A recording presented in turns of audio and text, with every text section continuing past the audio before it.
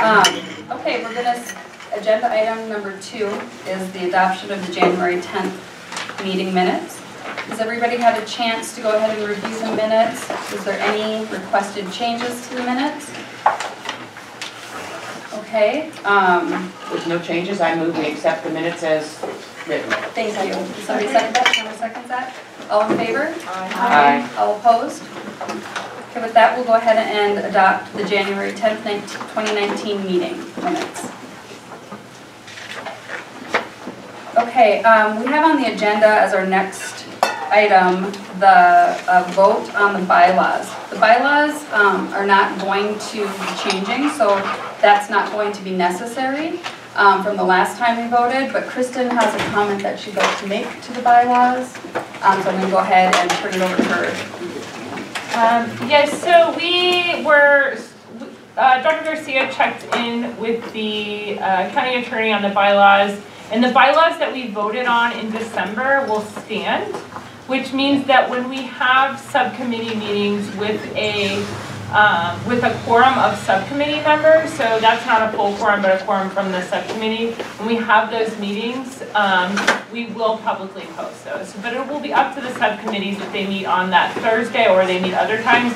But we will create agendas and we will post those, so it will be public meetings. Um, But we've already voted on those bylaws, so we don't have to, the good news is we don't have to make any changes tonight um, to what we've already voted on. Okay, any comments, or discussion on that? Okay, we'll go ahead and move on then. Um, the next order is the call to the audience. We have a full house and I have a full stack of, um, people that like to get up and speak. Um, I'm gonna go ahead and remind everybody that we need to keep it to three minutes. Um, like I said, we do have quite a few people that, that wanna get up and speak. We wanna make sure we get to everybody, um, and everybody gets a chance. Um, I believe we took these in the order that they came in. So um, we're gonna just start with number one. And if I mispronounce your, your last name or your first name, I apologize up front. Um, Gail? Is it Spar? Spar. Spar, thank you.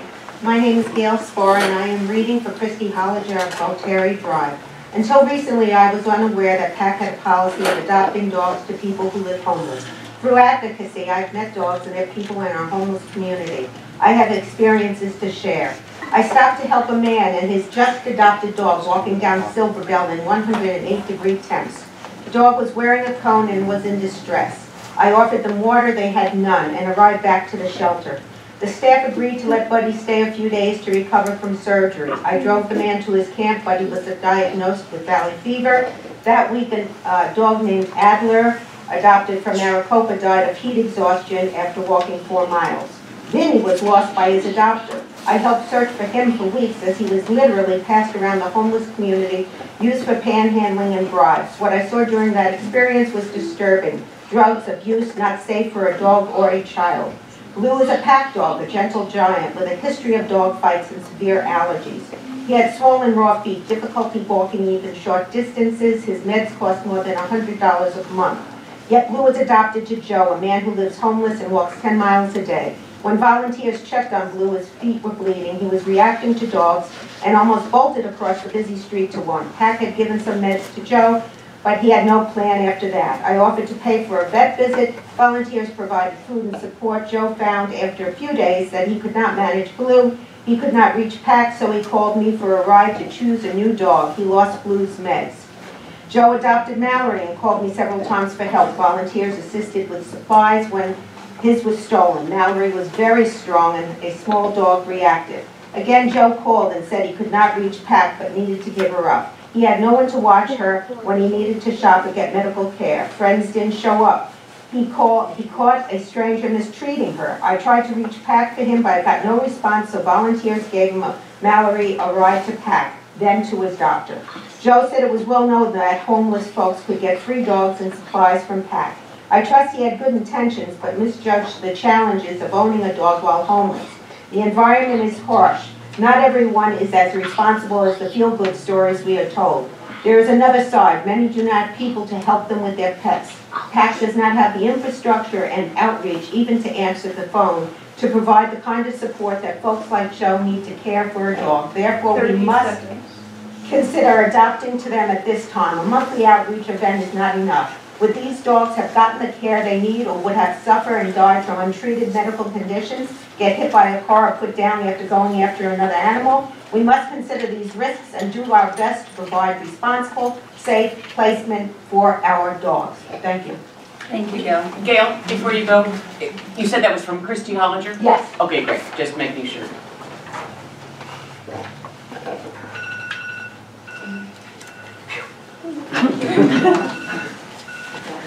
Now everybody knows what that sounds like. Um, Cheryl Vanden, Charlie Vandenberg. Charlie Vandenberg, sorry about that. My name is Charlie Vandenberg and I live on West San Juan Terrace in Tucson. I'm reading this for Kyla Ballesteros, a volunteer and medical practitioner who was unable to attend. Dog ownership is a privilege, not a right. I am in full support of providing assistance to those that need help caring for their animals, but placing animals in a potentially harmful situation is a different story. Recently, I witnessed a man panhandling at a street corner with a dog while I was at work. I could see through the window that the man was shaking and choking the terrified dog. Many cars passed by and did nothing. I pleaded with the man to stop hurting his dog, who appeared very fearful of this person. He came in the building, left, and moved on with his dog. Later that night, the man and dog were seen again down the street. Terrified for the dog's safety, a concerned citizen offered money in exchange for the dog. The man freely gave up the dog at the sight of cash. I soon discovered this dog was adopted from PAC. His name is Chili. He was known to be skittish on his walks, had a history of fearfulness, and on his last adoption, where he was kept outside of a camper with no utilities and a small kennel run, he escaped the run and was lost in the desert for days. At the request of the adopter and PAC staff, a volunteer responded and rescued him. The owner returned him. Chili was obviously not an ideal dog for a homeless man frequenting busy streets. It was discovered that the man that adopted Chili had documented complaints to PAC of abusing his previous dog named Roadkill, who had been in and out of PAC each time this man lost him. Rody, who PAC renamed, was even delivered back to the man's homeless camp by our protection officers. Yet despite the complaints, Chili was still adopted to him. A simple records search shows this man is a felon with convictions of child abuse, which he served a year in prison for. This was clear, very clearly an adoption that should have never occurred. Thankfully, immediate help was available for Chili from community citizens. PAC was not there to help or support him. His collar, harness, and leash were so tightly intertwined they had to be cut off. Chili was shaking, filthy, scared, incredibly hungry and thirsty. This dog was knowingly placed into a very unhealthy and dangerous living situation that could have been avoided completely. Why are we placing dogs into the hands of known dangerous people? Why are we willing to trade the life of a dog for a statistical improvement? What would have happened to Chili? What happens to so many dogs placed into the hands of people that view dog ownership as a right and not a privilege? These are not questions we should have to be pondering in the first place. I respectfully request that this statement in its entirety will be added to the minutes of this meeting. Thank you. Thank you.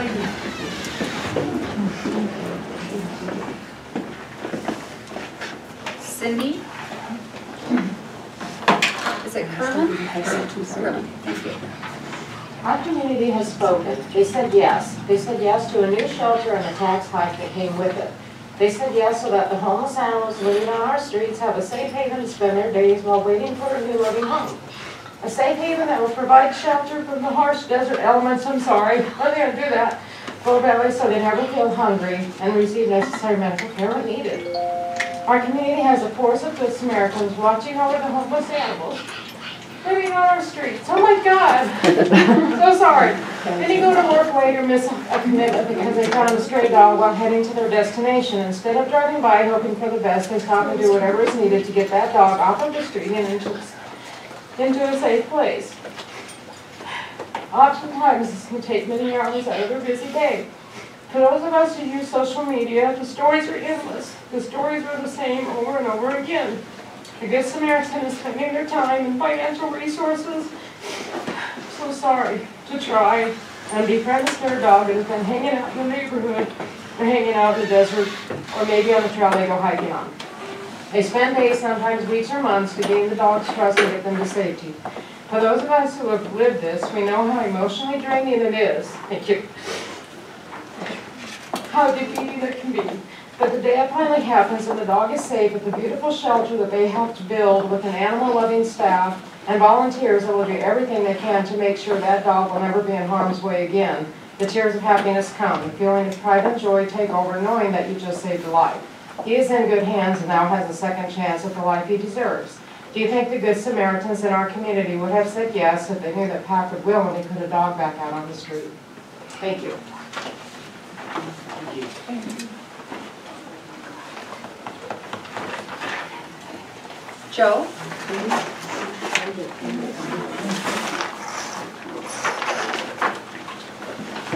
Is it Wishini? Wishney. Wishni, thank you, Joe. I'm speaking today as a voting resident of Pima County as well as a volunteer at PAC. Um, As you know, the citizens of Pima County voted yes for a $22 million bond to build a better facility for the pets in our community. No more overcrowding, no more overflow tent, freezing cold in the winter, stiflingly hot in the summer, nothing but the best for our animals. What do you think will happen if the public learns that PAC is giving the dogs they trusted you with the dogs they trusted you with to homeless people. I think they'd be horrified.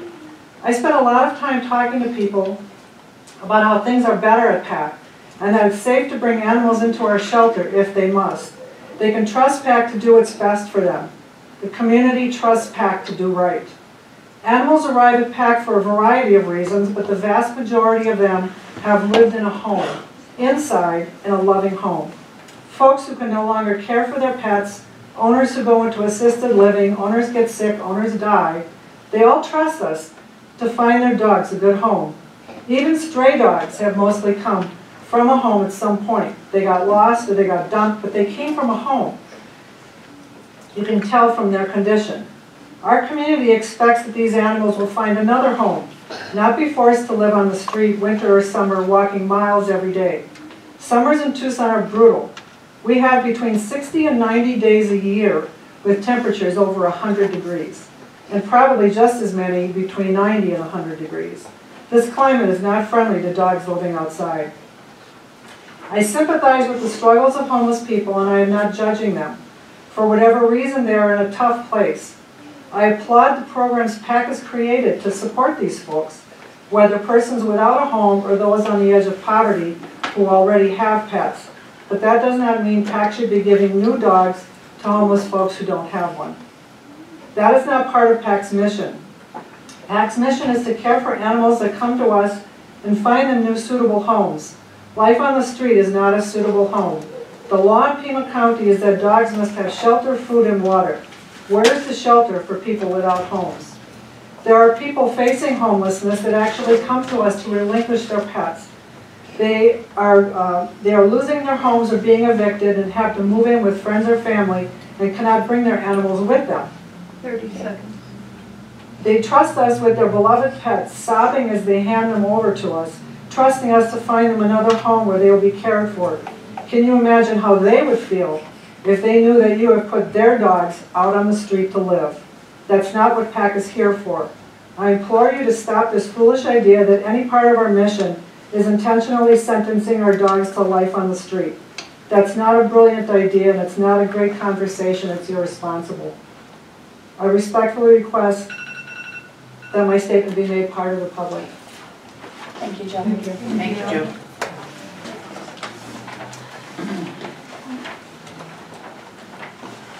Kathy Newman?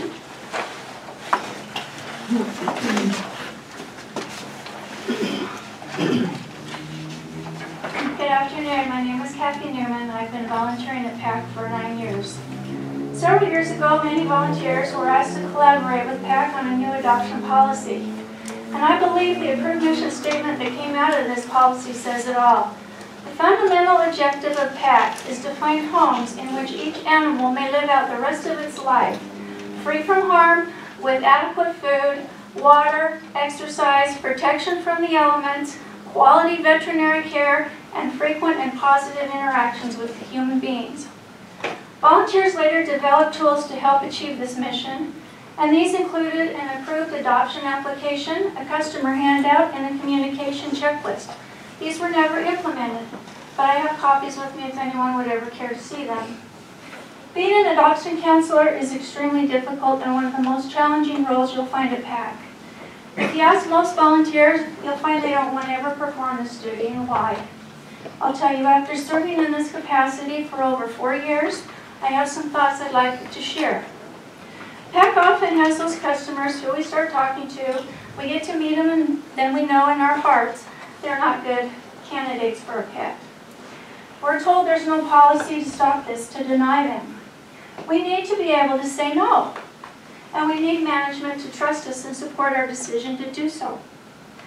The adoption process often becomes the only opportunity we ever get to educate the public on how to care for a pet.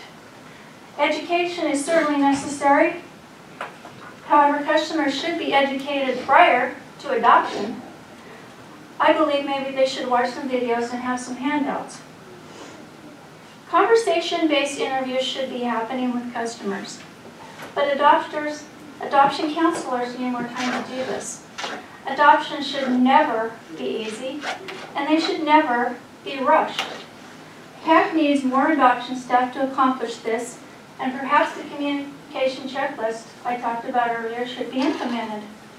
And no adoption should ever be an at-risk adoption. PAC should require proof of residency, perform background checks, and adhere to a do not adopt list. I feel a more detailed application should also be used. There will always be the argument that if we deny adoptions, customers will just go elsewhere, and this may be true, but we can't control the rest of the world. We can control what happens to our pets here at PAC. And there will always be arguments about best practices at other successful agencies, and that's fine and good. However, we are a county shelter achieving all-time record highs. Unprecedented standards are being set here. We're the role model. We should never send a pet to a life on the street. We should never send it to any questionable adoption. These pets trust us, and they rely on us to make the highest quality decisions we can for them. Their fate is in our hands, and I, for one, never want to look into a pet's eyes as they leave us, knowing I didn't do my very best to find them the best possible life. Thank you. Thank you, Kathy.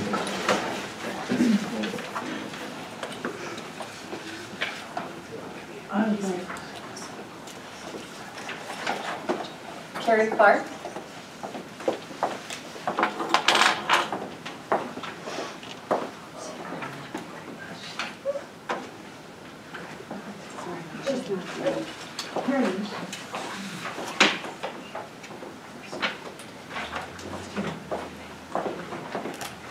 Hi, I live in the city, I work for the city, sorry, I don't have anything prepared, I just kind of want to speak on a little bit of what they have touched on.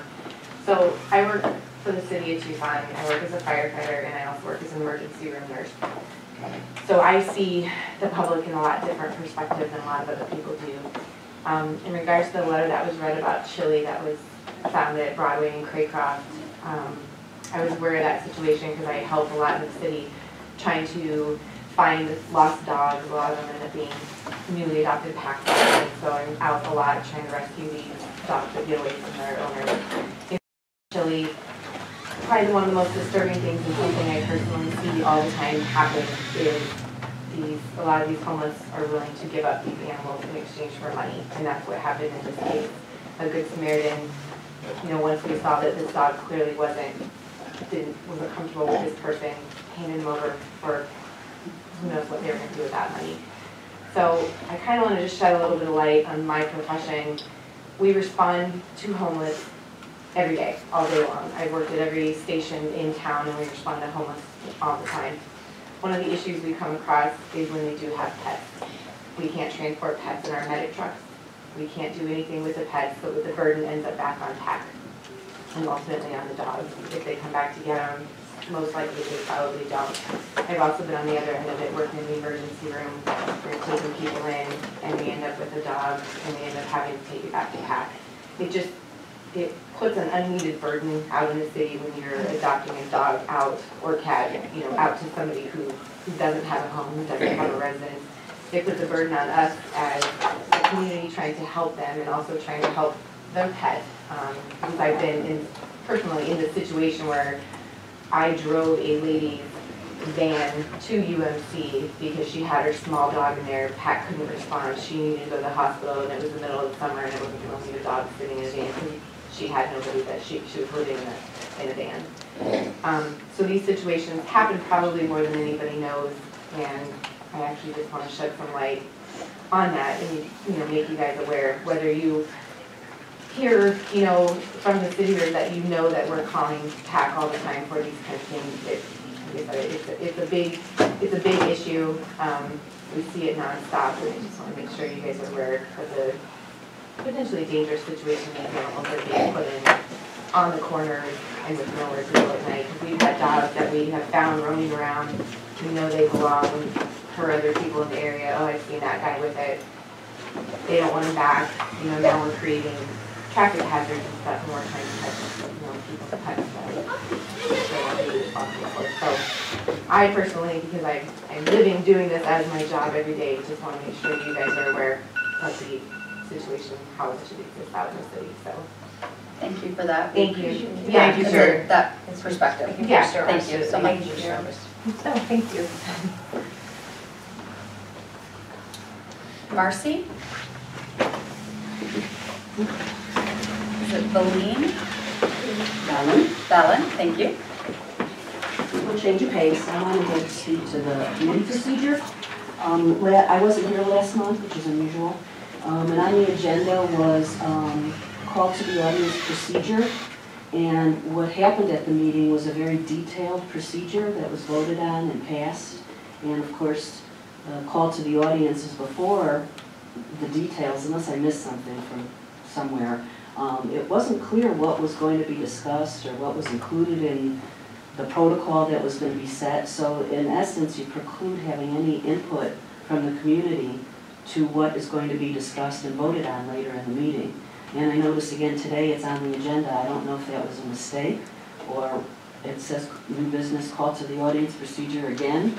So it, I would just ideally like to see that um, if something is going to be voted on and there's details about what will be voted on at that meeting, that that somehow be made public so that if people wanted to come and speak to it on the agenda, that's the purpose of the public notice. They could come and speak. All these people are here because they knew what was going to be on the agenda. They helped get it on the agenda, so they could speak to it specifically. But if you don't know what's going to be there, you, you can't have input. I think one of the things, um, the only thing that was addressed, I think Jane spoke in the minutes because we knew that there was a change of only one call to the audience and it was going to be at the beginning of the meeting. And um, that's been happening for months, so that was something that was addressed in that call to the audience. But the, the comments about the priority, um, there was a comment about, um, if time allows, and that, you know, you had the right to, you had the ability to extend the time allotted, but it never said, at least not in minutes, what is the time allotted? So I was greatly pleased to see that you said we want to get everybody in today, but the way that was written, it was that it could be called off at any time. We only allowed ten minutes, and we're not having any more speak, and here's the order we're gonna call them, and if you're at the cutoff point, you're cut off. So I just wanted to say that, that seemed awkward, and if the time allotted, we'll always accommodate. There's an important issue that the community's coming forward to talk about, that nobody believes that. But, so I'd just like to say again, I don't know what the comments are today, so I can't speak to them, but it would be nice to know if something's gonna be voted on, especially something like call to the audience that affects the public so much. Thanks. Thank you. Thanks, Marcy.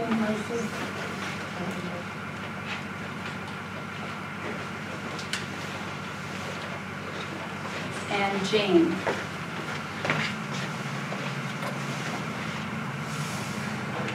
Yes, I'm Jane Schwerin.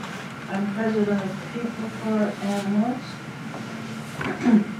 And I agree with everything that, that all of the speakers have said about the disposition of animals. Not, uh, I, they emphasized how bad it is to give, adopt animals out to people on the streets, but also can be bad, and, and I know all of you, all of you said that it can also be bad to adopt animals to, in other bad situations also.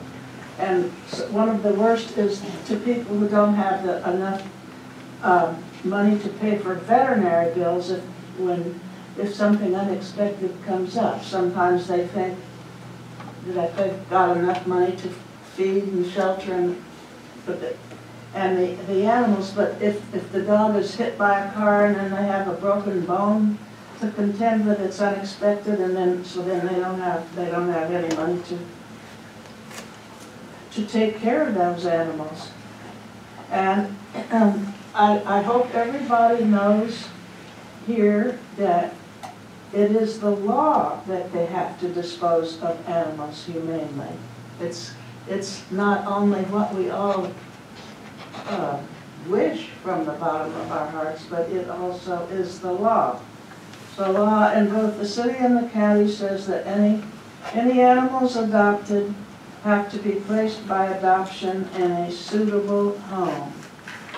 I realize sometimes it's hard to tell what's suitable, but so, you can certainly tell what's not suitable in the, in the, in the examples that all of the speakers have given here today about these homeless people with, with uh, obviously had no shelter of any kind, that could be known that they, that it was not a suitable home. So the law says if they're adopted, both city and county, placed by adoption only in a suitable home. And then the, the other point that I would like to tell you, just to make sure that you got it, uh, when Ms. Auerbach did mention it briefly, but it has been very important and has been the subject of much debate, uh, back and forth about whether, whether the subcommittees should be open to the public. And I have here a ruling from the county attorney saying that they, the subcommittees must be open to the public. And also he says about the, the, um, uh, let's see, let me read, the subcommittees formed from the original committee are subject to open meeting laws which require public notification and posted signs. That is from the county attorney. Jane, I hate to interrupt you, but it's been three minutes, and we have already, you may have missed it, but we already talked about that with um, the agenda item on the bylaws, where we did say that we were going to be publicly noticing all of the subcommittees, so we have actually already covered that this morning, or, sorry, this afternoon, um, earlier. So I thank you very much for coming and for speaking.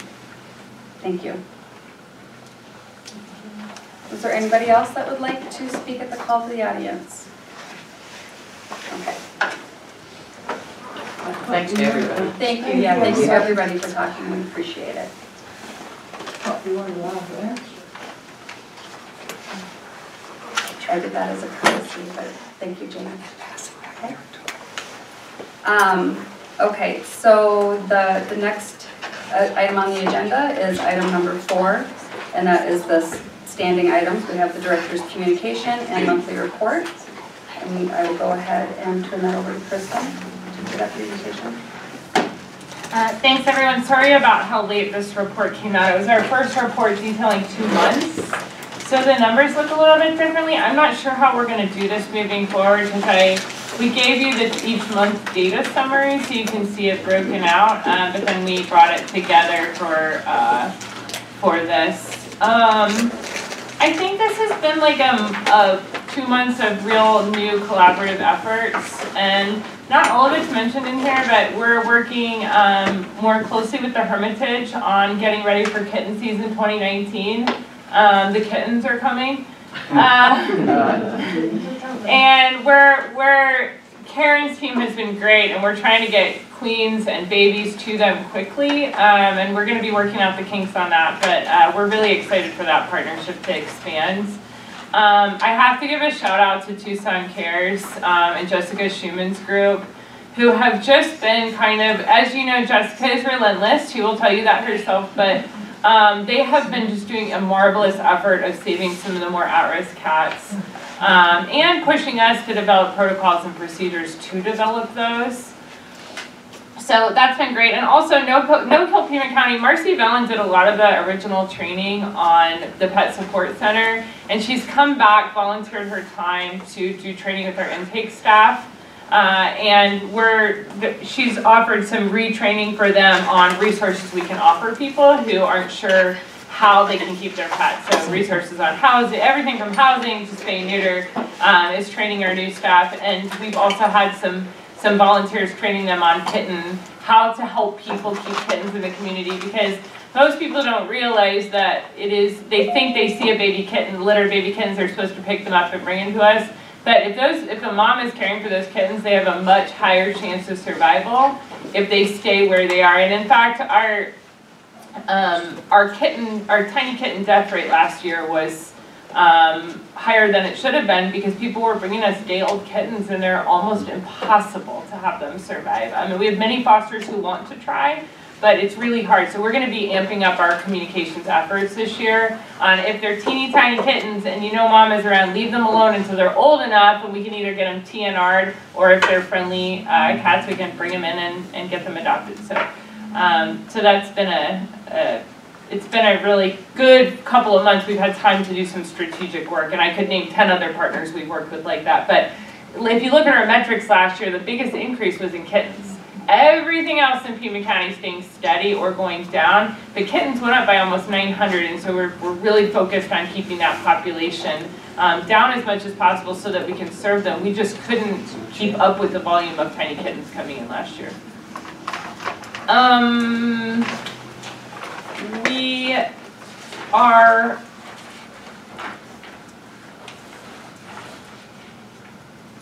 bringing on a ton of new people. No, that's not true.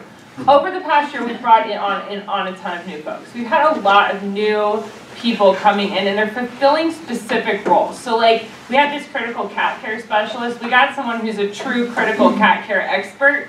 Um, we needed a cat foster coordinator. We brought in a cat foster coordination expert. So um, a lot of new faces you'll see around PAC, but I think what's exciting about it and why I wanted to mention it is that there are a lot of new faces, but a lot of them have very specific skill sets, and that's exciting. I think we're at a point where we're attracting people who have those skill sets, and they are so darn hard to come by. And that includes two vets who we have, one we have hired, and one we have almost hired. Um, so we should be fully stepped on vets, stepped on vets by this early this summer. Um, thank goodness. So uh, that is, that's about it. We're just rocking and rolling, getting ready for our busy season. We have 67 cats on site today, which is some kind of record. Um, in about two months, we'll have 667 cats on site. So we're all we're all planning. We're little squirrels right now, getting ready for uh, for cats and kittens. Thank you. Any comments or questions for Kristen on the monthly report? I have one question. Um, it looked like we made some progress with our field officers. Because I think we were, at our last meeting, we were, that was one of our shortages. And so congratulations on that. Thank you. Yes. And, because that's serious, because that really does affect our day-to-day communication in our community. It does, and, and thank you for mentioning that, because we have gotten the call, we've got a record number of calls the last two months. We've got our open call volume down to five hundred, which is actually pretty good. We keep calls open. Uh, if we can't get people to answer the door, we have to keep the call open. So five hundred is actually a really healthy number. Um, and thank you for mentioning that, because our, our, they have boogied this last couple of months, and we brought on a lot of, uh, new staff, and a lot of them are transfers from other departments or promotions, which means they already understand how PAC works, how Pima County works, so the training process has been quick. Any other questions or comments for Kristen? Okay, uh, we have Friends of PAC up next. Tammy? I did mention at the subcommittee meeting last month, we did meet our goal for our campaign that we were in. Um, So we're moving on from there. I did put our newsletters over there for anybody that was interested. You may have one. Um, We have sponsored Adoption Alley at the Wolfstock where PAC did adoptions at an off-site event. It was a very profitable day for them as far as getting animals into new homes. They had, um, I believe it was four or five of the mature animals found homes that day, which was very exciting. And they did have to come back to the shelter once to bring more animals out to be part that day. It was a great turnout. There was a lot of people there that was very um, animal oriented and very friendly. We will also be sponsoring as a gold sponsor for the Adopt Love Adopt Local event that's put on by PAW in April, April the 13th. Thank you, Karen. So we will be at that event as well, tabling.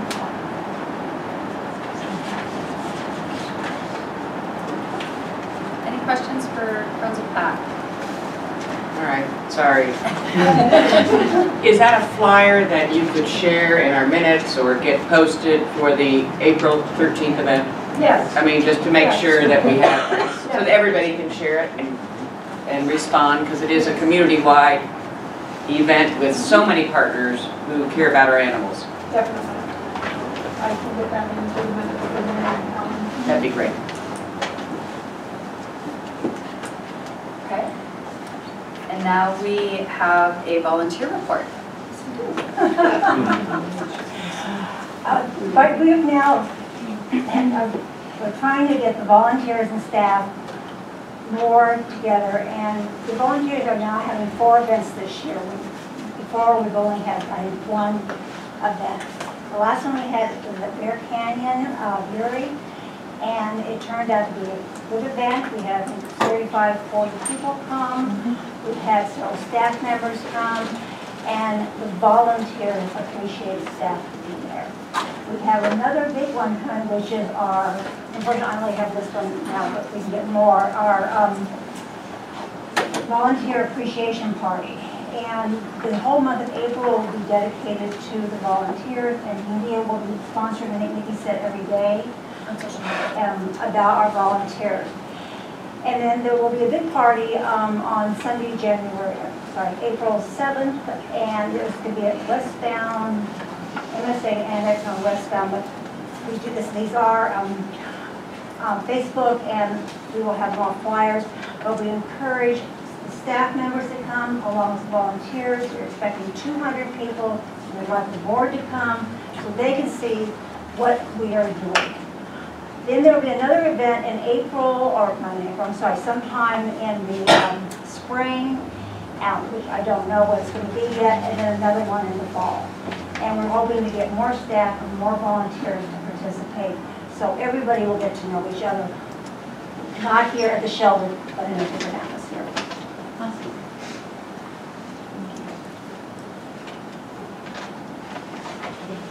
So the time and the place and the address will all be on the website for the volunteer dinner? Um, Party, yes. Party, okay, Yeah, for the party. get.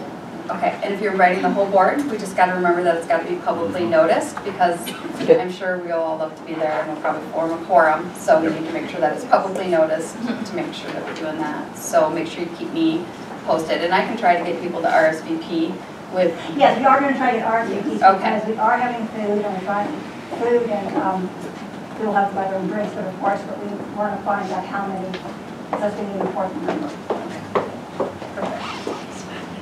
any questions? All right, one more thing. Okay, I'm not your most Facebook-friendly person. So would you just make sure some of these Yeah, yeah. things are on the website Yes, or, yes, I I, mean, I meant, yeah, not just you, but just a reminder to everybody that not everybody's on. I on a tablet outside, yeah. No way. Sorry. That's awesome. And I also, think I'm going to do that far. Yes. But also, if you need any right. donations or added food or raffle items, I don't know what the plan is, but don't hesitate to reach out. Yeah, that's let us, let us know. Okay, thank you. You know what you want. You know. Okay, any other questions on that? Okay, then we'll go ahead and move on. We have got a presentation on the GS, GIS mapping system, and Sarah is going to go ahead. Just kidding. Just kidding, Sarah is not going to do that. I'm going to speak later. Sarah's going to speak later. Do you want this? Yes, please. So can I preface this really quick? We, we asked the GIS department if they could get us down to a street level view of where all of our intakes, clusters, adoptions, licensing, blah, blah, blah, we're coming from. We can even show you where our volunteers live. Um, and so Bennett's gonna walk you through some of this. Um, if you are a GIS nerd or you want to be, we can also, um, share all of this. It's a, it's layered maps, so you, you- it's a little confusing, but. So that's what GIS is, is mapping? Mhm. Okay. Okay, Bennett, take, take over.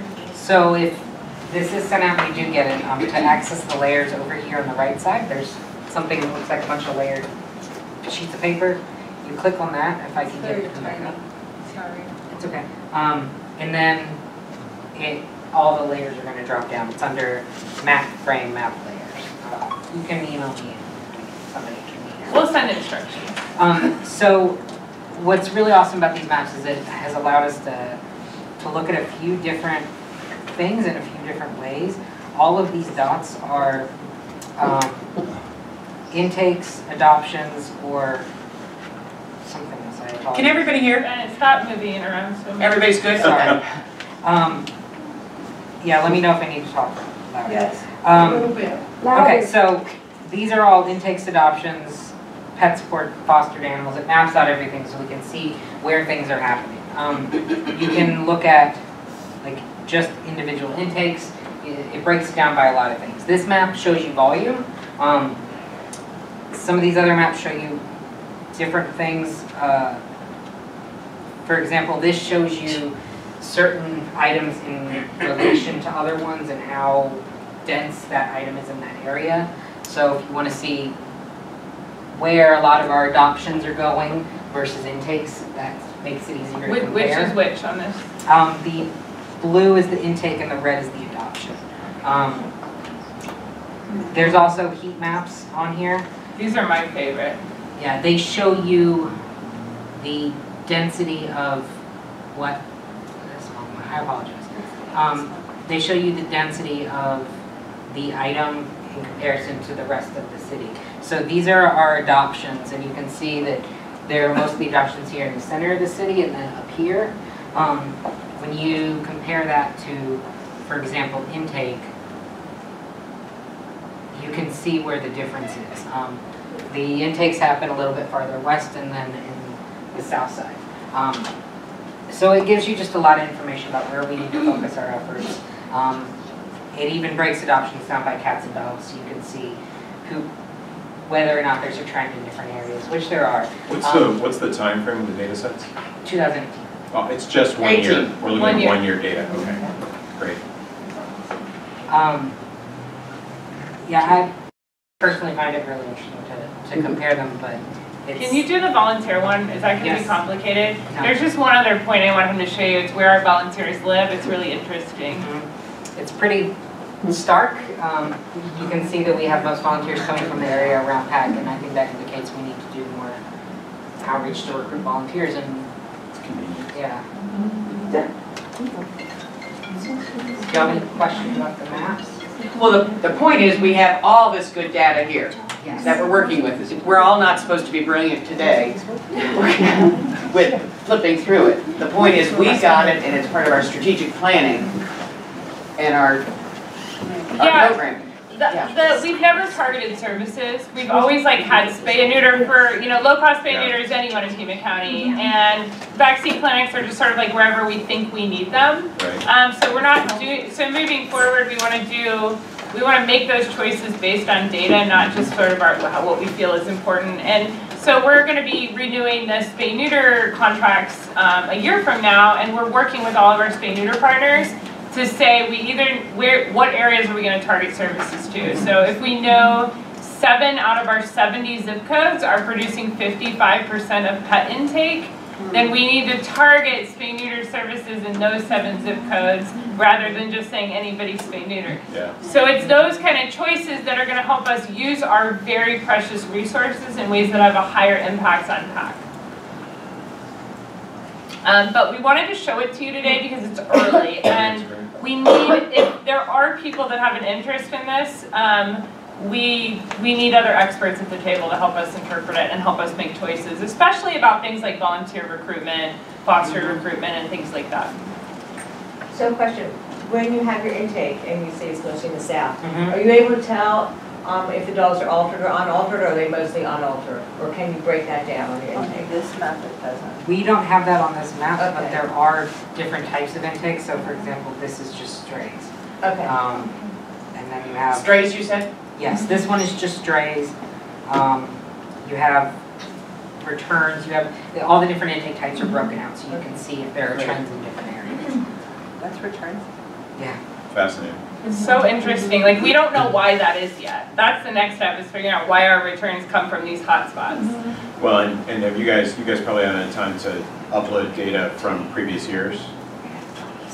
Not on The the. GIS people already hate us, so I'm we're, they we're waiting like a week to ask them Yeah, for it's like, because it'd be just interesting to see trend patterns, um, year over year, because one year doesn't really give you a good image of what that looks like.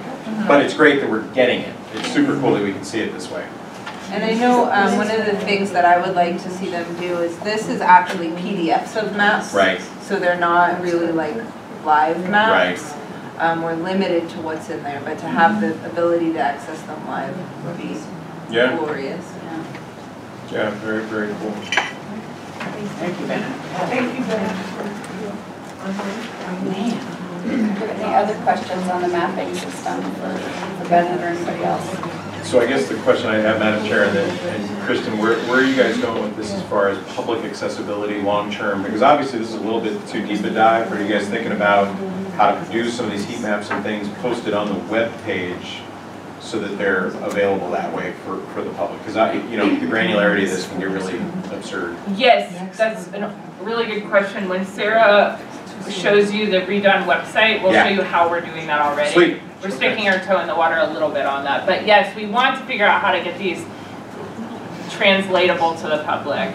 Um, and I think we'll probably be, the first things that'll become translatable are the, um, lost and found pets. Yeah, absolutely.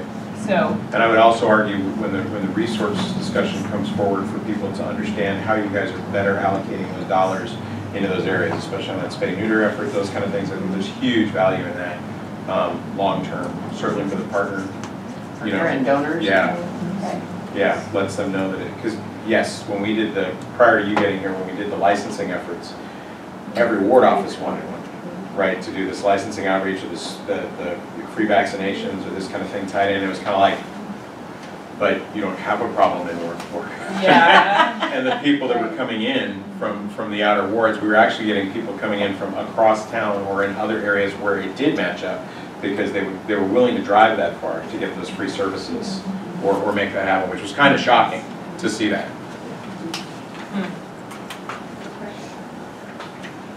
Um, Madam Chair, when we do this breakdown of the surrender dogs or cats, there's a questionnaire that people fill out when they bring their animals back. Are you able to fill in the, um, find the most reasons for the specific areas when people bring them back?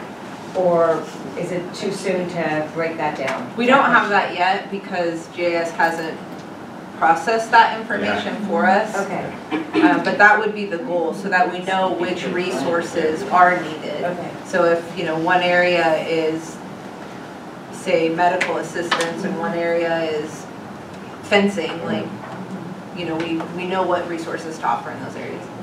Thank you. The, the maps are capable of doing that. The GIS data layers, we absolutely could do that. It's just, it's a lot of input and you gotta Right. make sure you're getting it accurate. And so we use these um, for the city efforts that we did, uh, our Prop 407, the Parks and Connections bond. We create story maps now. It's one of the biggest things we do. We have those for our for, uh, uh, mural program. We have it for this and we use the GIS layers to identify those spots. So there's a ton though of manual effort that has to go in to make it all flippable and, and exactly what you're talking about. It would be great to see what you're talking about. You know, we surrendered the dog because of inability to afford animal, ill animal. Uh, and, and you can click those layers and watch those shift within the structure. It, it's doable. It's just a question of time and resources and Right. money, We'd like our own GIS person, like that.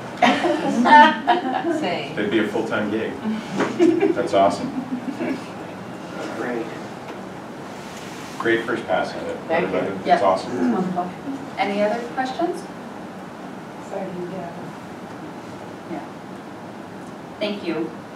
Um, Animal protection update, and we have Veronica Sanders going to go ahead and give us that. Veronica, come over here. and say hi to everyone. Veronica's one of our supervisors, and I heard her talk to our hearing officers and explain some of this to them, and I was like captivated. So she's gonna talk specifically today about safety issues. So there's a million topics she could talk about, hmm. but you had, you all had asked us to come address what happens when somebody makes a concern or complaint about safety, whether a dog attack or a human attack. So she's talking specifically about that today. Hi, I'm Veronica. So um, basically, we have a set of protocols in place every time we receive a complaint about um, either a human that's attacked by another animal or an animal that's attacked by an animal. When it's um, an issue where, whether it's human or dog or cat that is attacked and that animal is currently at large, we consider that one of our highest priority calls and an officer is immediately dispatched for that purpose. The first thing that officer would do was go out and make sure that the public is safe. Go and try and find the dog that's at large that potentially harmed a human or harmed another animal, can find that animal. The next thing we would do on that call is go and meet with the victim. We even go to the hospital to meet with the victim. These calls can be very time consuming because we can drive all over the county to go and find the animal and make con- uh, contact with the victim and then go and meet with witnesses and then ultimately, hopefully, find the owner of that animal and issue citations for restitution and so on and so forth. The only time a call where an animal or um, a human was attacked and it would not be considered an immediate emergency response would be if that animal is no longer at large. Uh, And it does happen. People will call us several days after an attack occurs. At that point, we don't come rushing out right away. Um, But it is our next highest priority call. It is considered a priority number two. An officer would come out on this complaint, the first thing we would do is make contact with the complainant, the person who was attacked, or the person who owns the animal that was attacked. We go, we get their statement, we photograph their animal or their injuries, uh, medical bills, vet bills, whatever it is that they might have, and we provide them with their options, and then we would go and attempt to make contact with the owner of the attacking animal. In either situation, although it's in our control to uh, meet with the complainant and speak to them and get all the information that they have to provide to us, the part where is um, we are not in control of is trying to make contact with the dog owner, and that's always where the process breaks down for us. We are not POST-certified officers. We don't have the ability to knock down people's doors and force them to talk to us. All we can do is show up over and over and over, and we do.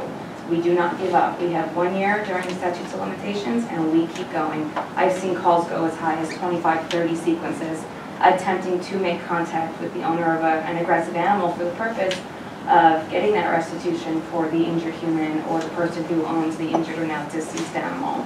Anytime we have a situation, uh, we have a bite scale, it's what we call it, a bite scale.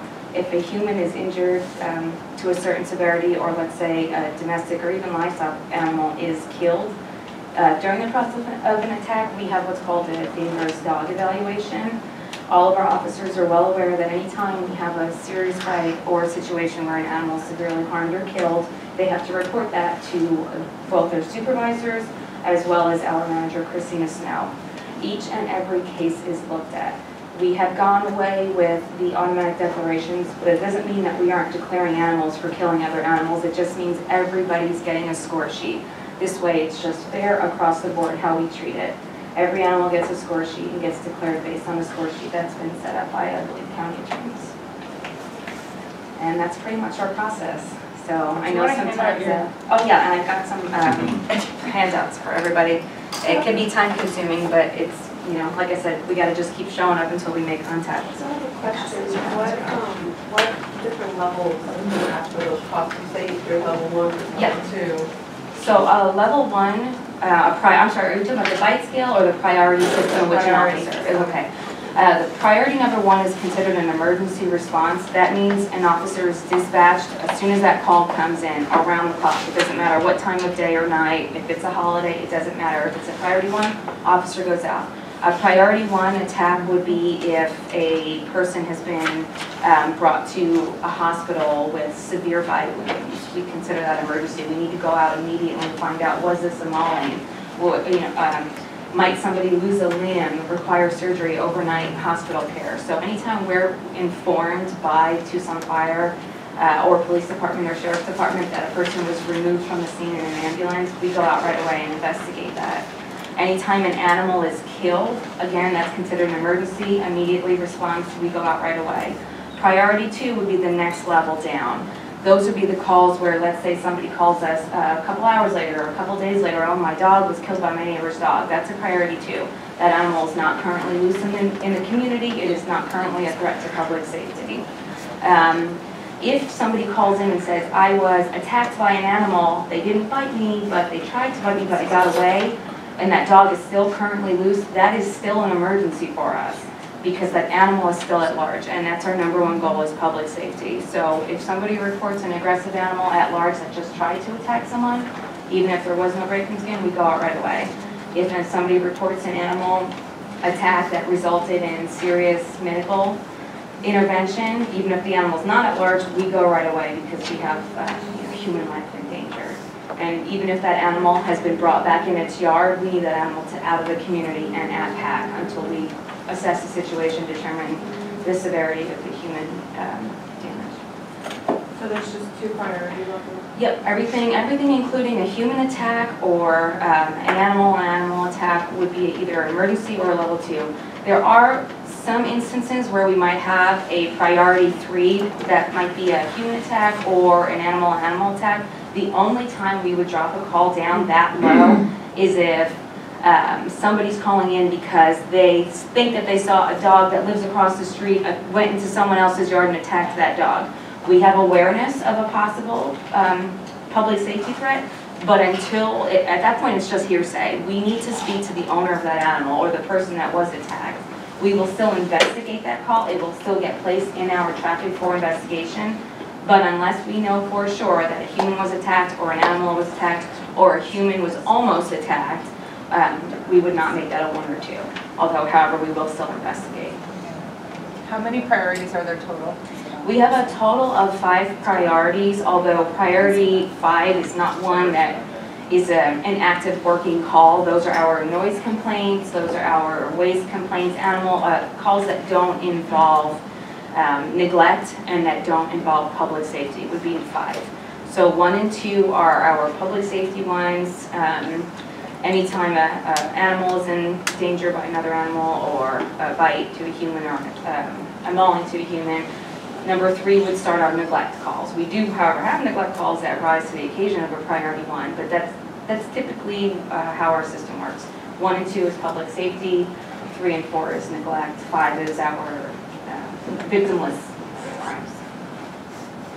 I'm, petition, you said that if they're, they won't answer the door, you can't, I know you can't break the door down. Yeah. But if there's neglect and the dog is outside, can you take the dog even without them giving you permission? If there's obviously Absolutely, but there has to be exigency. Exigency means we must be able to articulate in the eyes of the law that we believed with our professional uh, experience that this animal was in danger of dying if we did not remove it. Otherwise, it is theft. Animals are considered property in the state of Arizona. So if I show up at somebody's house and I want to remove their dog because I think it's in distress, I better be able to uh, prove that in court, convince the prosecutor and the judge that that is the case. Otherwise, I, I've just stolen somebody's pet. Mhm. So it's really important that we have exigency. That basically means an animal has to be lateral. Um, they have to be truly in danger of dying right now. If I don't take it in and take it vet.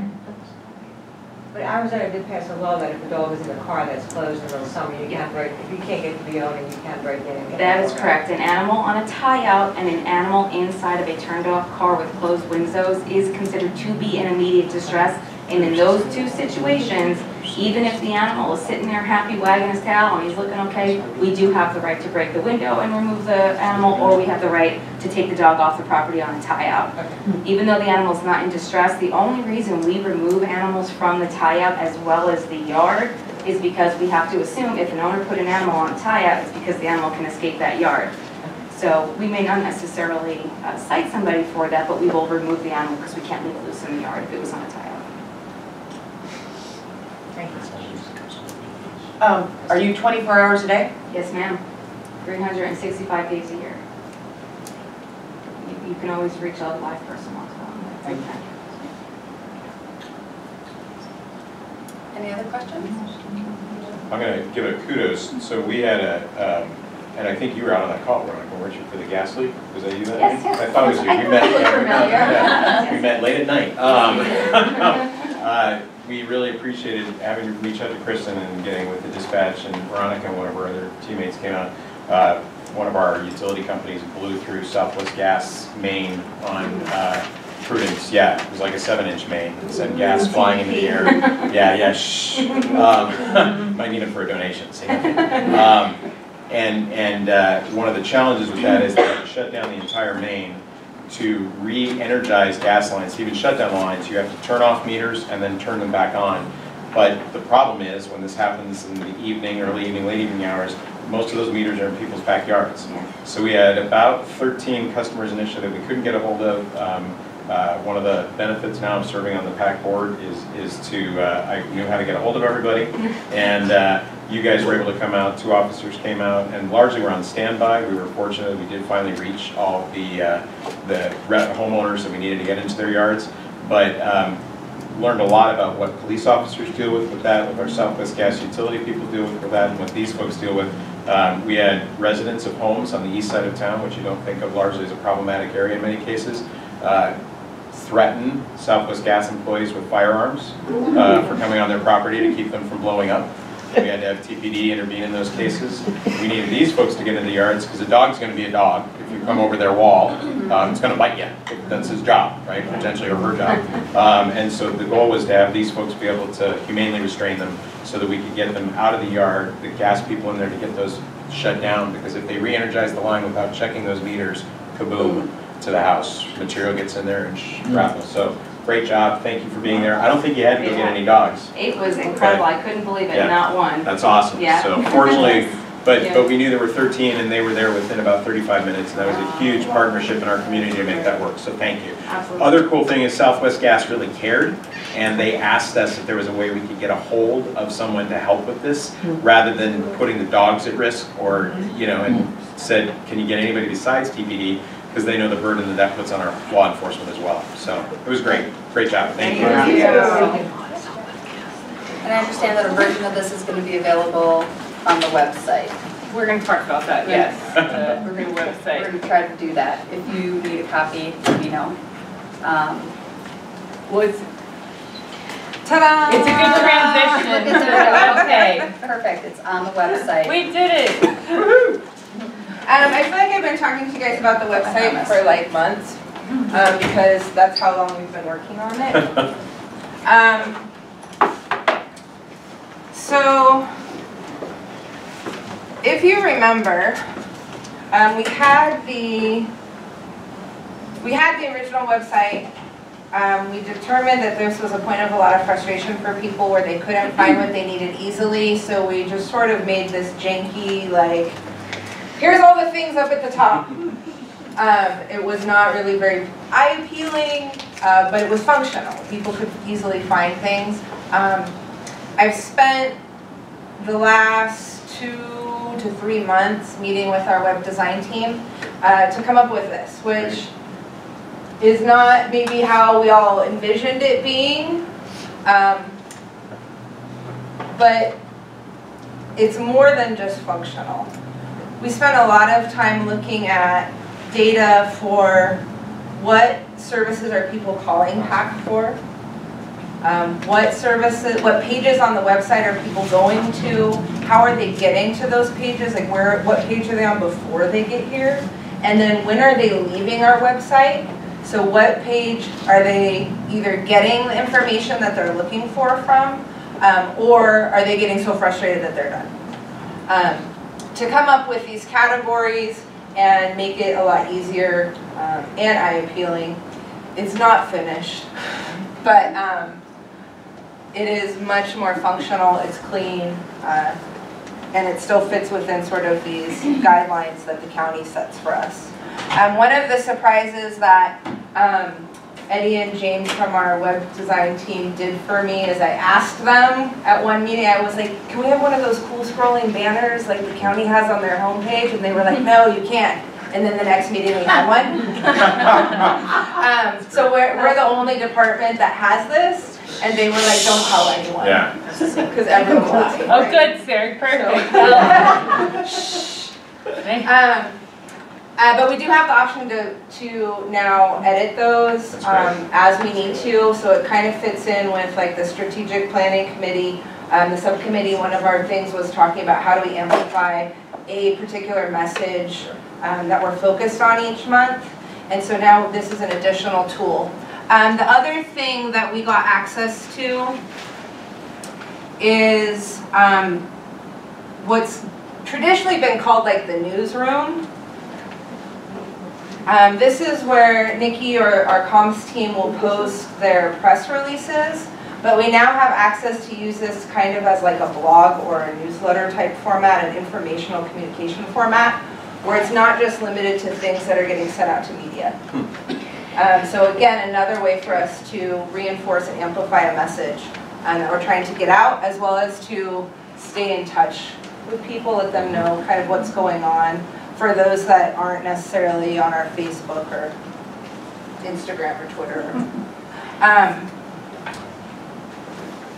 we have, uh, I don't remember if I've shown you this before, but we have a Google Calendar for PAC. Um, this was always an underutilized tool where there was just like a recurring once a month PetSmart adoption event on there.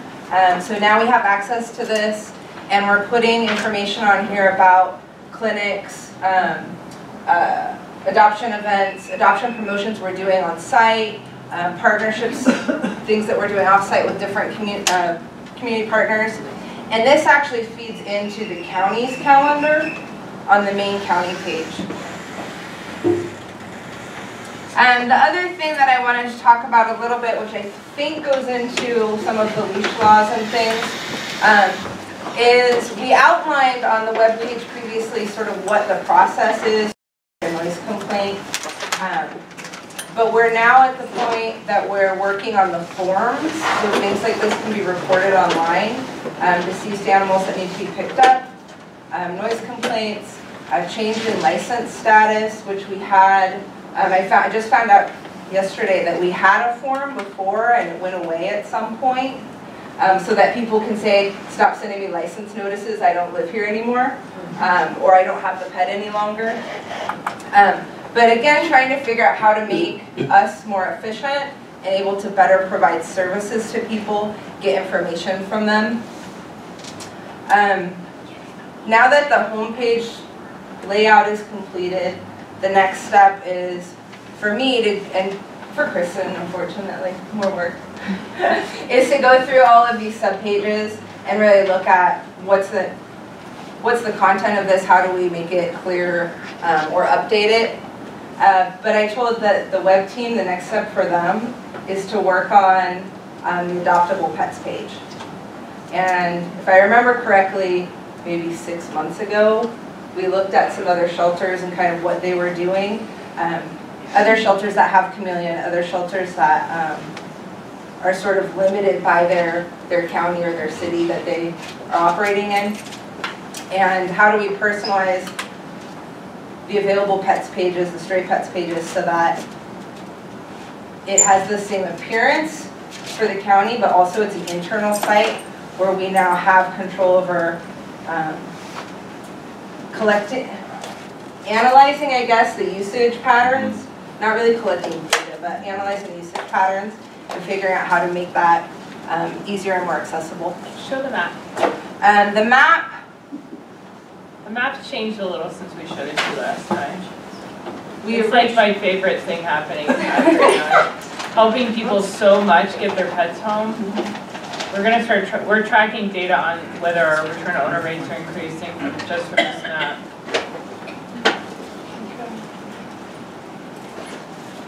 So, Reds are dogs, blues are cats. yes. So what we've added, what we've changed is we've made the um, legend for this so that it's on here all the time. Originally it wasn't. And then, um, The other thing is if there's multiple, I don't know if I have any right now, but if there's multiple dots, They're found, they're, these are found pets? yeah. Oh, great, look at. Their pictures pop up now. and Oh, I don't can't think make that was part happening any last bigger. time we showed you. That's awesome. We got one with maybe a cuter picture. Kind of terrible looking. You dog snob. Like, there you go. I- And I apologize, I can't make this bigger. Um, but what it has at the top is, if, if you have information, if you have questions, call us at the pet support number, and here's the picture right away. And then if you scroll down, it goes into, um, a little bit more information. Um, the date, the breed, the sex, the color. Um, originally, the picture was kind of at the bottom, and people didn't scroll for that. Um, and the other thing, I'm not sure if I can find one, but if there's multiple pets at the same spot, it would have like a little itty bitty triangle thing right here. Nice. Um, it wasn't very clear that there was another pet there, and so, um, it should now be so that they both show. Um, Great progress. Yeah, so it, it's, again, not as fast as I would like. But, um, just the fact that it's, it's consistently improving on a weekly basis has, has been really positive. First, let me say kudos that the license are online. That is wonderful to not have to come and stand in line to do license, even though I'm down here all the time.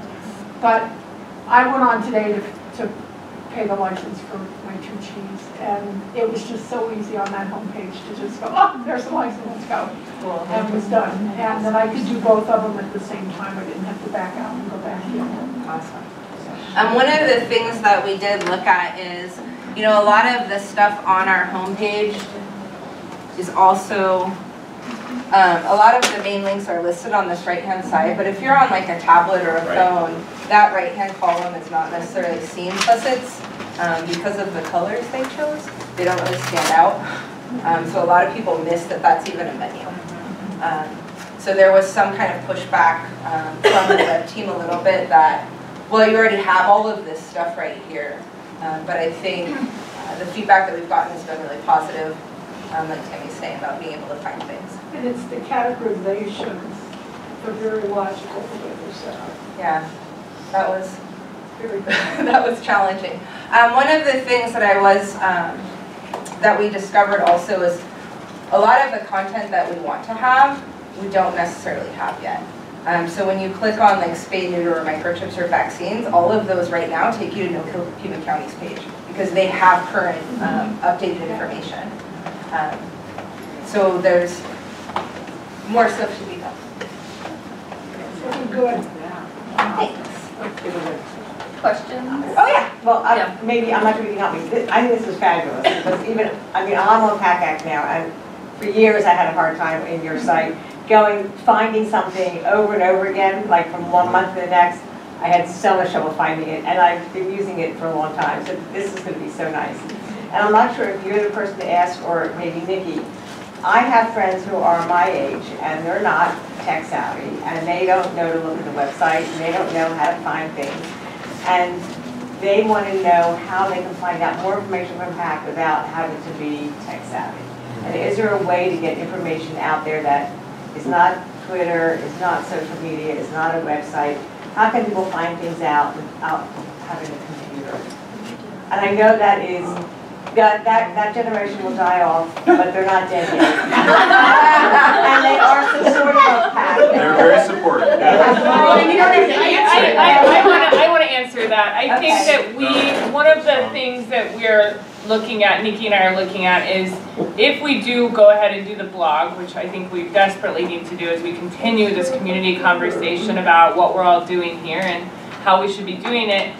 As we do the blog, we're gonna, we, I, we are pushing to do a printed version as well. I don't think, you're, you're never gonna get this level of information, and I think most people use a website at least. I think more people just aren't on social media. Right. So we're trying to bump up the website, most people can use those and get that blog as it's written then into a newsletter format. Um, and we, uh, all of my, I'm, I'm doing monthly blogs now that are going out on Pima County FYI, Okay. which is a public facing Pima County Right. newsletter, so that's another way people can access information. Okay.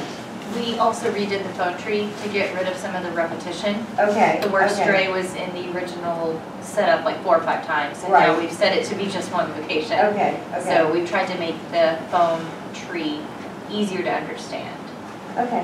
And then I would say um, another piece that we're just starting to look at is um, doing postcards, mailers, um, getting connected with utility companies, like some of those things that um, we haven't utilized, but are additional non-electronic ways. Well, Some of the recommendations from these people are that if you could post in the libraries. If there's, a- it- like the libraries always have a big posting of what's happening Hmm. around them. If you could post in the library, even like the newsletter drops them off in the library or have something available there that people can come in. If they're, when they're coming in, they still read books. If they're coming in, they can see it. So if I may, Madam Chair, I- I'm glad you provided that, Jeff, thanks, because that was my concern, is where are they getting the information? Do we need to figure out a way to do some intercept surveys, you know, direct contact, and where could we do that? That you can identify where we can connect with these people. So the the libraries, excuse me, the libraries would be fantastic um, in that it's a county facility, so it makes it a little bit easier for that. And I think Mark could probably help on that front. And they're so supportive of those kind of efforts, which is awesome. The other piece that could be kind of fun um, would be maybe to reach out to um, our local coffee shops and our Starbucks because they always have the posted boards. They tend to be hyper animal friendly. There's tons of stuff on there about that. And they might be willing to be a great community partner with us, both our local coffee shops and that kind of thing. Just about everybody hits it. Everybody hits it. And especially when you're talking about that demographic of that donor demographic, Right. that, that, because you're, you're absolutely right. Our biggest donor demographic is also our least tech savvy demographic, right? So that's always gonna be the case with all of our donation items. So that's really brilliant. I was thinking that might be a great way to hit them, tie in. Just about everybody I know at Starbucks talks about their pet when you're there, so it's kind of Oh, that's true. Okay, thank you. That's Karen, great did you have something?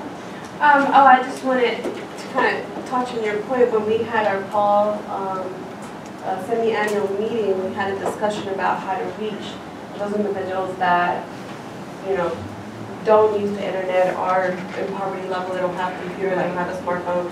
And it's really interesting to say that one of the, the, um, resources is to use the other organizations like the bond, the, uh, food delivery. Oh, yeah. Uh, what- sorry. Meals on Wheels. Meals on Wheels Yeah. and give them educational material, flyers or whatnot, that they can hand to those that are not really going out and looking at things like this, so. The food bank would be another. Yeah, so just using other organizations that could possibly It's a great idea. information That they can, 'cause, you know, we have the same problem. That's awesome.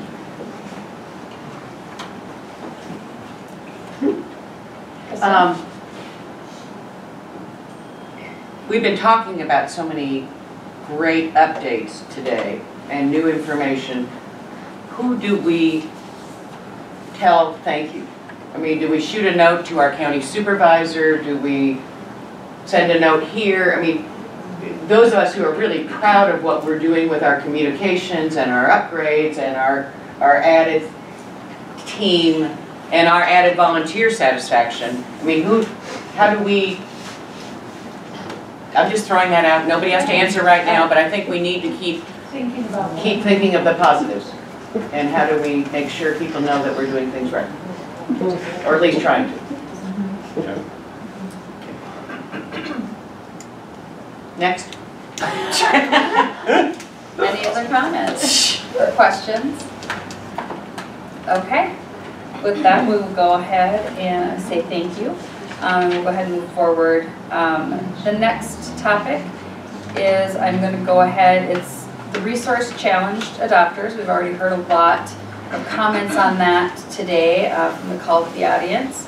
Um, This was an agenda item that was brought to us by Gail. So I'm going to let Gail go ahead and start this. um, And then we've already started to take some action on this. We want everybody to know that. I'll go ahead and let you know um, kind of what the, the game plan is as to how we're going to do this. And it really does kind of revolves around the volunteers. So you guys will all be interested in hearing where we're going next with this. But I'll let Gail go ahead and start. I don't want to repeat what's been said because mm-hmm. this group of volunteers said it much more eloquently than I could ever put it together. Can you speak up So, okay, I said I don't want to repeat what the volunteers have said because you put a very, very eloquent spin on it. You spoke beautifully and I know you spoke from your heart. And that's what the point of PAC is. It's about the heart. That's what the community voted for. When they voted the bond, it was about coming from the heart. They knew what PAC was like since 1960, and they wanted to make a change, and that it was, came from here. And to see a dog, multiple dogs, go out to somebody who can't take care of it after we brought it in, took it, taken care of it, and I know the staff works very hard at PAC, but the, a lot of the work with these animals is volunteers. They, they come in at six o'clock in the morning and they walk the dogs.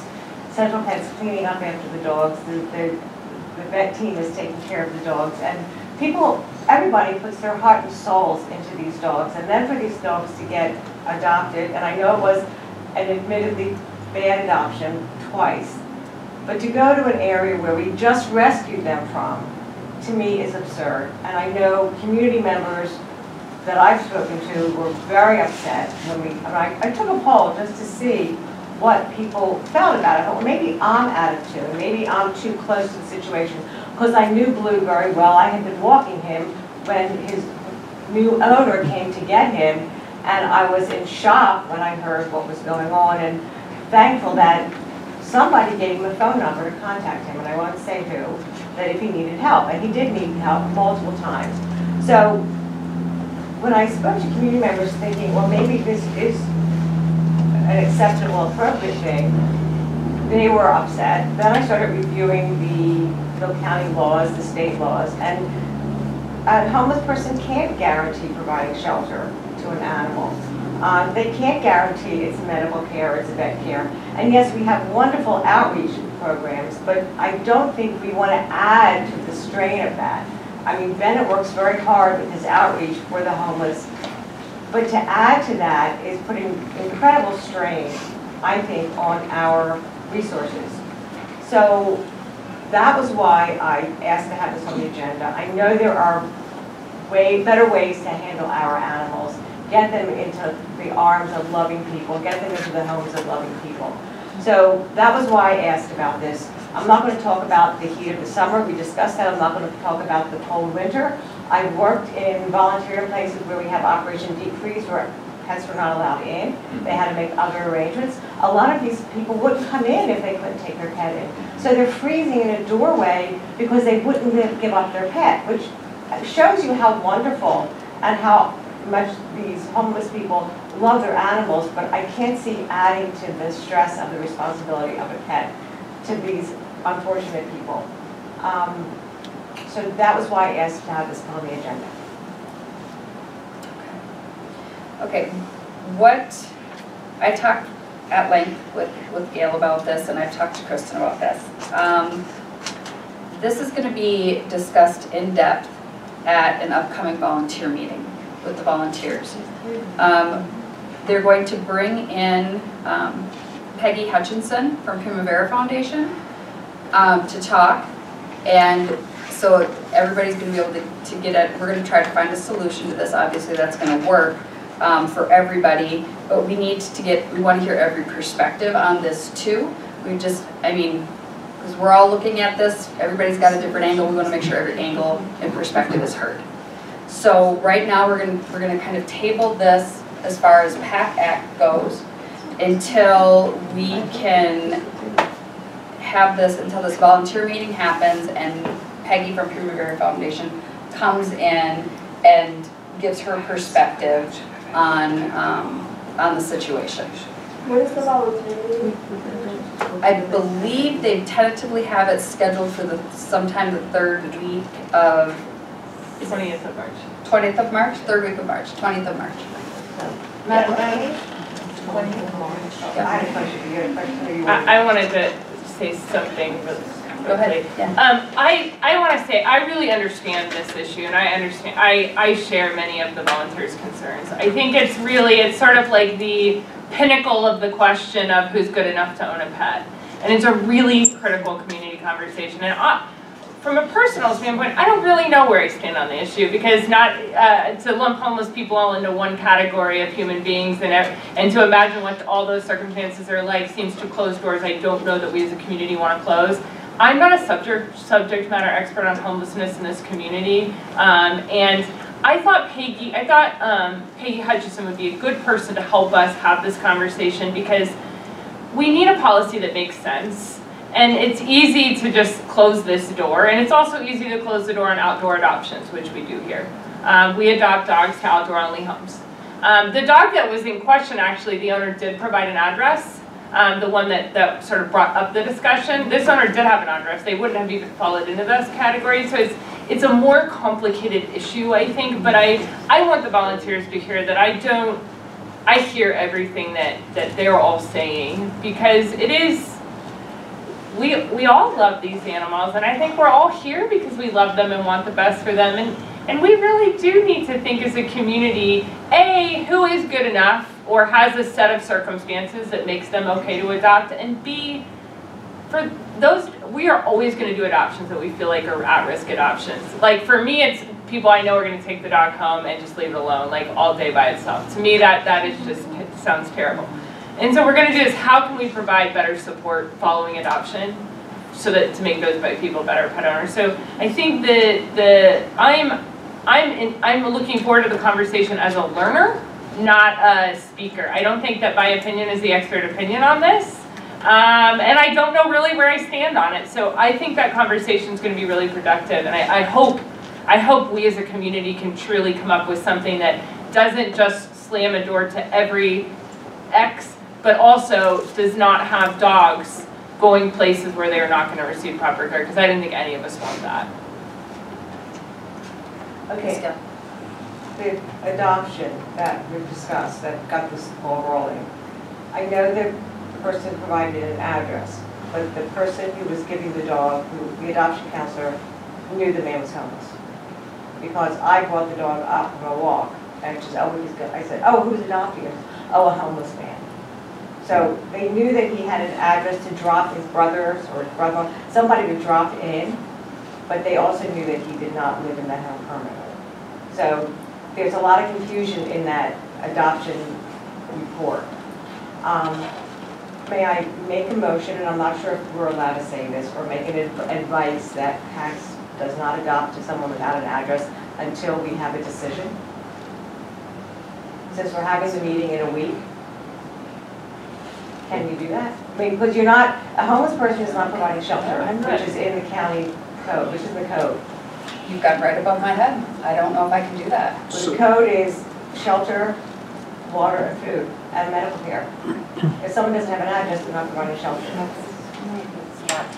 Shelter, so, Madam Chair and Gail, I totally hear you, and, and I get this, this is, this is tough, because this is a situation, and, and I appreciate everybody who came out, and clearly your hearts are, are very committed, and, you know, without you, this place doesn't even operate the, the way it does, so, so it's huge, so we know that. The, I wish we had an attorney present for this, because the, the issue would be mm-hmm. how the county law with the code works. Shelter can mean a lot more in the law than a house. That's the challenge. Um, and homelessness can be looked at the same way disability can be looked at in some cases, or other low-income issues. And um, I only know this through my limited experience working with our city attorneys. So I, I'd be, I'd be nervous supporting that motion right now, just because I don't know if we're getting sideways of, of the law and any type of strange lawsuit that could be brought forward because of that, for the sake of, of the board and for the county. Um, that said, um, you know, a, a clear message to those adopting volunteers that we, we need to be really careful, or even we bring in, you know, a director level or a supervisor level on this for those type of adoptions might be the more appropriate thing, so that it isn't just staying within the volunteer and, and whatever lower level sta I don't know how it works, folks, so forgive me. And for the short term, so, so that might be an issue where, where the the supervisor comes in and can be, help make that decision with that adopter counselor who's doing that, to say, "Oh, we're gonna, we're gonna wait on this. I mean, if Kristen went into that meeting and said, we really want to consider this, but we're a little concerned about your ability to care for this animal, so let- let's, let's hold it another week. Let's, I don't know how that would work, Kristen, but that, that would be kind of my hope for that, um, until we could get an answer on that. Um, Yeah, um, may I volunteer? Yes. I, I will commit to all of you that anyone that, that we do not feel can provide, provide appropriate shelter for an animal, we will say no to. And I want to say, without any, like, I want to make it very clear that we do say no to adopters. We do have a do not adopt list, and we will say no. And if any of you are ever involved in an adoption, that you don't think the animal is going, I, I wrote this in an email to volunteers the other day, if anyone here thinks that they are participating in an adoption where the animal is going to be subject to cruelty, neglect, or abuse, that goes to my level. I want to know that. I check my email about every five minutes, about 22 hours a day. So please, those, those kind of communications should come directly to me because this is not truly about people facing homelessness. This is about those adoptions that were like, this is not a good fit, this is not the best choice for this animal. And I, I don't actually think this conversation is just about this. And, Right. and we have to have a process and take very seriously when we feel animals are going to bad situations. And I don't think we've always done that. I think there was a time at PAC where we said, you know what, we just can't say no. It's gonna seem like, you know, we have something against this person, and, and that just isn't true. There's, there's nothing, but I do, I do think there, there are potential legal consequences to um, requiring a permanent address that we need to better understand. I'm gonna be doing my due diligence to understand that. But in the meantime, if we feel like there is an adoption uh, where the animal's not gonna get adequate care, it will come directly to me and I'll be the one to approve or say no on that. Then can I ask that we discuss with the county attorney what the legality is? We- we- So that we are being consistent with what county and state laws are? Adoption process? Yes. Yeah, if I may, Madam Chair, and Gail, to that point, there may be case law that clearly identifies what that shelter aspect means in that, I just don't know what I it could, means. I'm trying to find it, I couldn't find it. Yeah, well, a lot of times we won't be able to, because it's really buried Okay. in lawsuits or things like that, and they, the, the attorney will know, they can track that and know where that citation may exist, or do some quick research, whereas we just don't have that at our fingertips, it gets really lost in the Alright. caseloads. Thank you.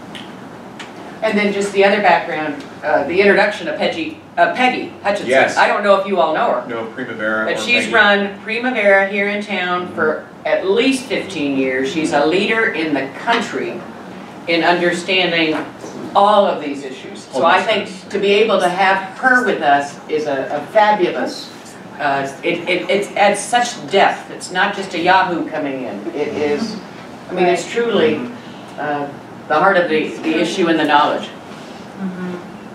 Okay, so what I, my takeaway from this so far is that we've got a little less than seven days, or about seven days before this meeting that we're gonna meet with, that Peggy's gonna be there. Um, and everybody's gonna be able to discuss it. And within that week's time, if there's any questionable adoptions that you don't feel comfortable with, they're gonna go straight to Kristen. So that's how we're going to deal with those until we can move further along in developing a, a POS on this. Um, Did I say that acronym correctly? Yes, and always, if anyone ever SOP. kills an animal. Yes, SOP, yeah, and I knew I didn't, so I'm so sorry. And then I came out and I'm like, that's wrong. POS is just point of sale. If There we go. something else, it's point of sale. SOP on this, so we can develop that, yeah, for the next Yeah. week. If you have any questionable adoptions at all, bring them to Kristen, um, and she'll make the, the decision on, on how we're gonna handle those, for those, for that interim time being. I just, so since that's going to be done, some of the dogs that different volunteers are working with, whether in the Top Dog program or one of those other programs that may be a behavior dog, um, we've been, we've been speaking with adoptions and they are flagging those dogs so that if they, those dogs do come up for adoption, their advocate was, is listed and can be mm-hmm. called. So that may be another point of, of information for you. Oh, interesting. That may not be in Chameleon. Mm-hmm. And I would say this extends to all the animals at PAC, not just, I don't wanna just single out the dogs. No, no, I love no, the cats too. So let's be aware when, with all of the adoptions, cats and dogs, so if you're uncomfortable with any of them. If I may ask, Madam Chair, is it possible to have Peggy come speak at the next actual meeting to us as well? So that that's kind of a public thing, can we check with Peggy and see if she'd be available? Because that'd be just a great conversation for the community to have as well after the volunteers have that opportunity first. Because clearly, the direct impact is on the volunteers and on your operations. So to delay that until we have a public meeting, but I do think it'd be a valuable conversation to kind of have on the record. Yeah. That might be really good for the community members who can't attend that volunteer Yeah. meeting to have that chance. Of course. That'd be cool. Because she is, she is phenomenal and she does understand the issue, and I'm sure she's got a lot of data on this kind of world. Yeah. Okay. Let somebody know if you plan to go to the volunteer meeting. Just because there's Quorum. procedure, yes, because there's procedures we have to follow if we're gonna do a quorum. So. You said it was March 20? It's the twentieth. So, like I said, I just, and you don't have to let me know right now, you don't have to make a decision, but just let me know, or let Mary Ellen know, or just to let somebody know so that we can get a count, so that if we do, if we're running into that quorum area, that we can go ahead and get that noticed. Okay? Any other comments to this, or are we okay moving, forward from this now until twentieth?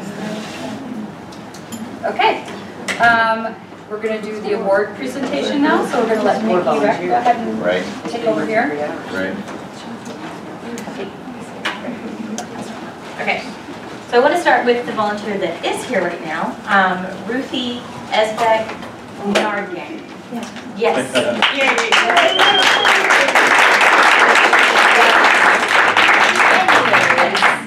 And I want to read, so stand and let us brag about you. Ruthie has been with PAC for about nine months. She's one of the most positive volunteers we have. She's very sweet, upbeat, and has, always has something nice to say about everyone. She helps out in the clinic, the decompression program, and does massage on the pets.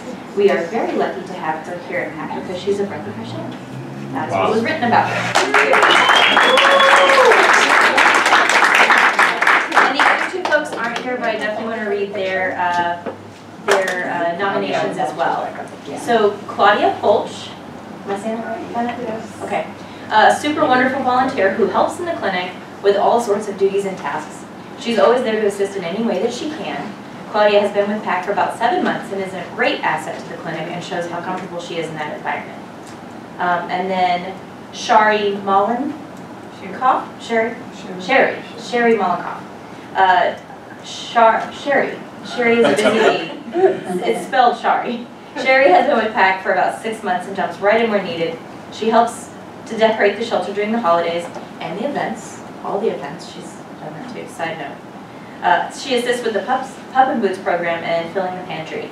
She is one of the volunteer leads who runs community groups and Sunday Fun Day, Sunday Family Fur Days at PAC and attends many of our events to make them successful. She is a go-getter and we'd be lost without her. That is what All right, so Ruthie, get back up here. Come on, come on. Sorry. Come on over. Gotta get the exciting picture. No Yes, delay. it's in here. Oh, oh, perfect.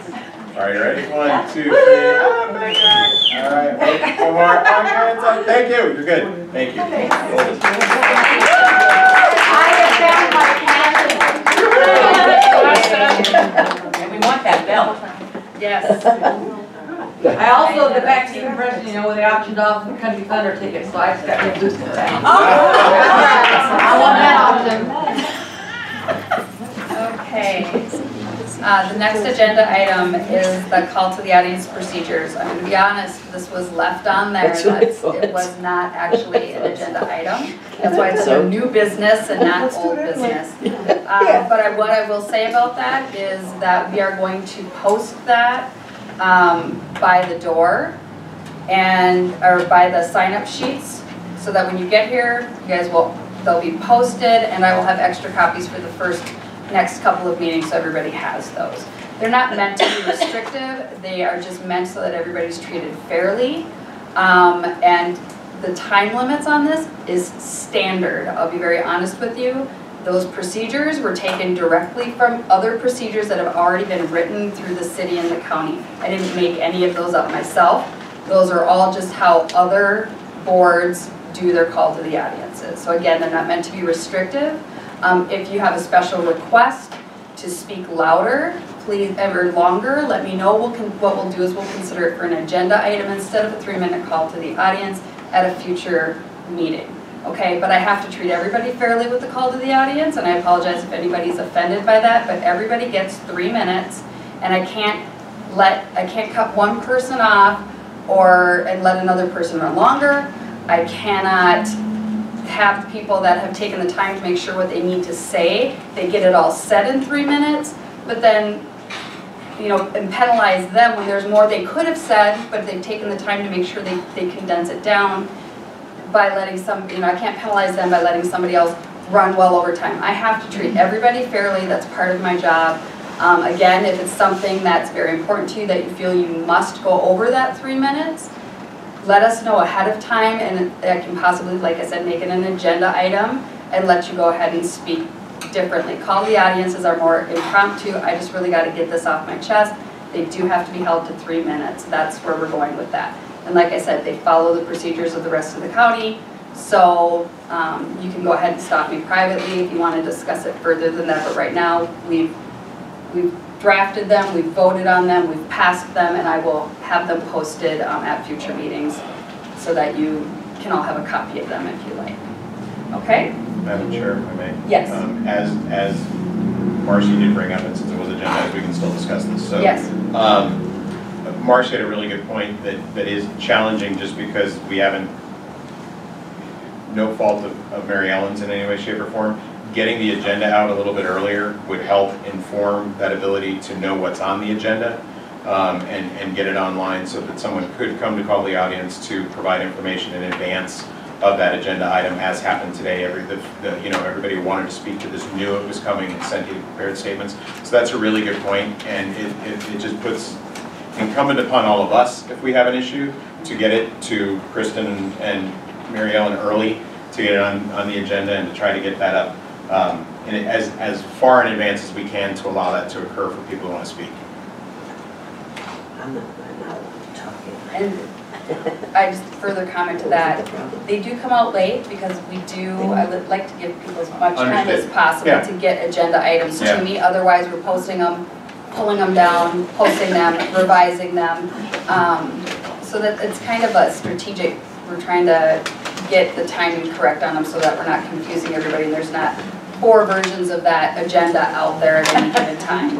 Right. So, which happens quite often, and then it gets really confusing. So, um, but again, always feel free to try to get a hold of me um, if you need to speak longer than the three minutes, and we'll, I'll do whatever I can, my best to accommodate that. So, um, with that, if there's any other comments on that, okay, then we'll go ahead and move on. Um, Committee announcements, does anybody in the committee have any announcements? Okay. Um, Subcommittee, are there any subcommittee announcements? If not, the only thing I'm gonna ask is that um, subcommittees, we're gonna try to meet before the next meeting, and that um, subcommittee lead for each one has something prepared to say, Right, an anything or something, an update of some sort on each one of the the subcommittees. Now, since the subcommittees are open meeting, Mhm. where do we, how soon do we have to get our agenda, Mary Ellen, and our place of meeting so that it can be posted? Mary Ellen? Two days. Two days ahead of time, okay. So two days ahead of time. They're gonna be very simple agendas, I'll be really honest. It's going to be the call to order. It is going to be the adoption of the minutes, if we've kept minutes from the last one, the call to the audience, and then subcommittee business. So just so everybody knows, that's pretty much what the agenda is gonna look like. Um, and unless you want to add more to that, to be more specific, we're gonna try to keep those very simple. Um, So there is not a April PACAC meeting, Correct. right? So Correct. our next official meeting, as we know it, is in May. Just so everybody Yep. knows, we're going every other month now. Yes, so it will be May. Yes, May 9th. Um, and the other thing I'd like to say about the subcommittee meetings, they're, they are going to be ran like these meetings. They're gonna be publicly noticed, the public can come, they will have the three-minute call to the audience in- incorporated into them, but then they're not, it's not an interactive meeting where the public gets to actually sit at the table with us and join in as if they were part of the committee. It's again, an audience type situation with the subcommittee, so they're run just like this. And the, um, the audience does not get to interject and make comments at the subcommittee meetings any more than they would at this meeting. So I need to be clear about that. Um, Any other comments on the subcommittee meetings? I have a question. Yes. Do I have to email everyone um, that committee from, like, it does regularly? Okay. What you have in Yeah. We'll go, we'll, we'll, I will go ahead and, the actual procedures for the subcommittees, we'll, we'll talk about all of that to make sure we're not in violation of any, um, any of the, the rules. Um, okay, anything else on the subcommittees? Okay. Um, chair, that's me. Just get agenda items to me, get them to me, try to get them to me early. The earlier they all get to me, the earlier I can get the agendas out. Um, so that's the only announcement that I have. Um, and then the shelter needs and volunteering opportunities. Do we have anything there? Yeah, um, we are trying to recruit more volunteers for our playgroup and in-kennel enrichment programs. We have a playgroup training coming up for the volunteers, so hopefully we can get more people to assist with that um, at the end of this month, and we're setting up a, a training for more in-kennel enrichment. That way we can have volunteers doing those things to help support the behavior team of the dog walkers. Great.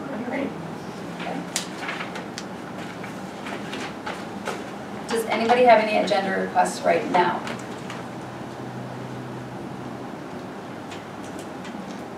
Please don't put um, the at-risk adoptions on the agenda for. I've already got that written yep, that's, that's gonna be on the next agenda. So we're gonna have the, the volunteer meeting and then then follow up at the May ninth meeting on that.